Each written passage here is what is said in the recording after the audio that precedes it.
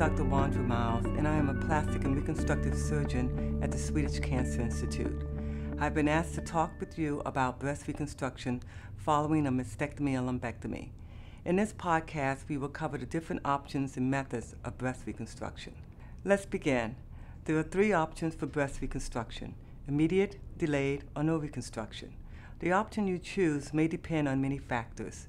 An individual may decide upon immediate reconstruction if they would like to avoid waiting to have an additional procedure done. But that may not be the best option for everyone. Delayed reconstruction may be considered when the pathology of your cancer is not clear and definitive treatment has not yet been determined. Delayed reconstruction might also take place if someone is not sure if they are interested in reconstruction.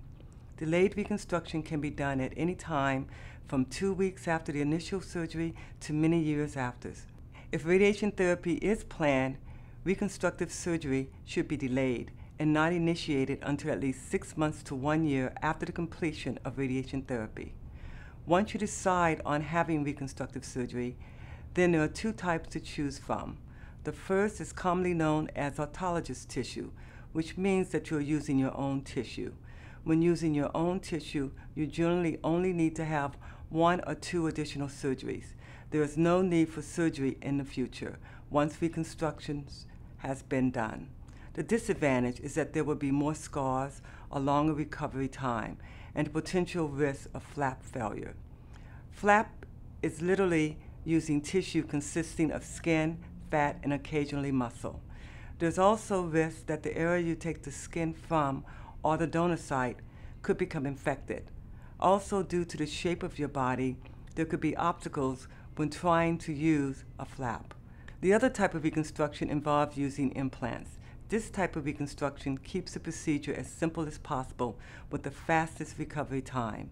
With implants, the surgery is usually a shorter duration and you can return to work and your lifestyle much faster.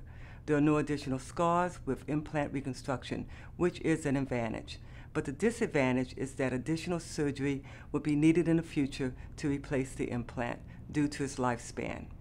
The placement of your implants is not the same as with cosmetic breast enlargement. When a mastectomy is done, the skin is generally eased off the breast tissue, compromising its blood supply to the skin. Uh, to clarify, if one puts a fully inflated implant deep to the tissue, as done with cosmetic breast augmentation, there is significant risk that the tissue may die due to the increased pressure, since there already is a compromised blood supply. This occurs with a mastectomy because there is no longer any breast tissue to protect the skin when the implant is placed. Therefore, a temporary tissue expander is needed. One should think of this as a deflated balloon that is placed in a pocket deep into the skin and muscle. Once the tissue is healed, the balloon is slowly inflated to the correct volume to create the size of mass that one wishes. Then the temporary tissue expander is removed and a permanent implant is placed. The patient has the option of saline or silicone implants. Silicone gel implants are now FDA approved. The lifespan of the implant is approximately 10 years, but can last for 15 to 20 years. Replacing the implant is a simple procedure and can be done as an outpatient surgery.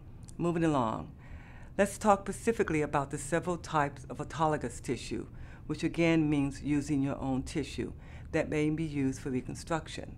The goal is to take the tissue from an area that will not cause you any loss of function. The type of flaps available to consider are a pedicle, free, or deep perforator flap.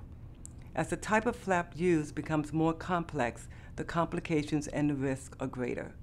Another option for autologous tissue is a latissimus dorsi pedicle flap. Uh, this means that the blood supply is never detached and the flap always has the blood supply as it is being harvested. The function of the latissimus dorsi muscle is for arm extension, but one has other functions that can maintain this function once the flap is harvested. This flap would not be the best options for individuals who are avid swimmers, golfers, tennis players, or who would need to use crutches in the future.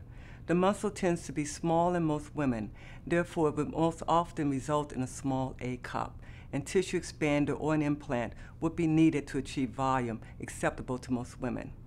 The TRAM otherwise referred to as a transverse rectus abdominis musculocutaneous flap, can be either a pedicle, free, or inferior epigastric perforator flap.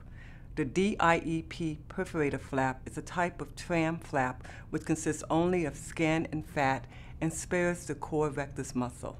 This flap cannot be used in individuals whose body habitus is greater than 20% of their body fat. It is also not appropriate for individuals who may be too thin and do not have enough tissue to create a breast. When the flap is used as a pedicle flap, both the core rectus muscle and the lower abdominal skin and fat is harvested to create a flap. Again, the blood supply is never detached from this pedicle flap. The biggest risk to this flap is an increased risk of abdominal hernia or bulge due to the loss of the core rectus muscle. To try and minimize this complication, the deep perforator flap was created, which uses only the skin and fat, and the core rectus muscle is left intact in this flap. The blood supply is completely detached, and microsurgery is needed to restore blood supply to the tissue. As a result, this is a more technically challenging flap to perform. In either of these three flaps, the surgery time is longer as well as the recovery time. When a lumpectomy is performed, there can be asymmetry in breast volume between the breasts as well as in a possible contour deformity from radiation therapy. So, if reconstruction after lumpectomy is desired, the recommendations for reconstruction would be to use either autologous tissue, your own tissue. Finally, you should know that there is risk when undergoing any surgery, but studies have shown that reconstruction is safe when there is not a high risk or any potential recurrence of the cancer. Also, it should be assessed that when a patient is considering reconstruction, they need to be aware that it might not be completed in one procedure and they must be willing to deal with the complications that may develop throughout the course of reconstruction. Thank you for listening to the Plug In to Your Health Cancer podcast program on breast reconstruction. For more information, please talk to your plastic surgeon.